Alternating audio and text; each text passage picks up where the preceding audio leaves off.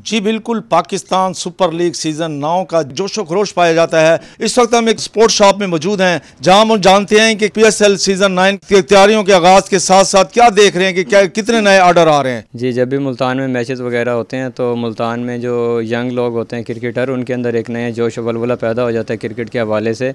काफ़ी लोगों के अंदर इस चीज़ का जज्बा बहुत ज़्यादा बढ़ जाता है। आजकल बहुत ज़्यादा जोश है लोगों में कि ख़रीदारी करनी है। बैट्स वगैरह जैसे कि हो जाते हैं और यूनिफॉर्म ये शर्ट्स वगैरह, सारी टी शर्ट्स इनका ज़्यादा, बहुत ज़्यादा यानी कि यूज़ हो रहा है, ये लोग बहुत ज़्यादा यानी कि यहाँ पे ख़रीदारी करने के लिए आ रहे हैं।